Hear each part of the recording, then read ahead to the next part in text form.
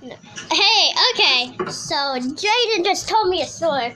Apparently, she has. Tell me about this boy that you met at school. Well, he has cute uh, lashes and a cute uh-huh. SpongeBob uh, lunchbox. What, you making fun of us? What did you And say? I wish he could be my boyfriend. When he was staring at me, What is that I was staring at him back. Supposed? So Then that means I'm in love What should we do? with him. So Jaden's apparently She's in not trying love. to get into drama. Wait, She's not can I trying to get into drama. tell She's a long uh, I don't question drama while doing this? was staring at him. What is At the that? same time, he was still looking at me with head like this. Oh, did your face turn red?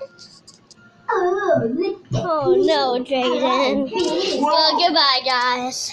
Um, You can't do. yeah, well, we're just watching Marcus and Lucas. Whoa! Yeah. So, are you in love, Jaden? Yeah, I got a new boyfriend. Marcus is always good with He's good. He's Start so young.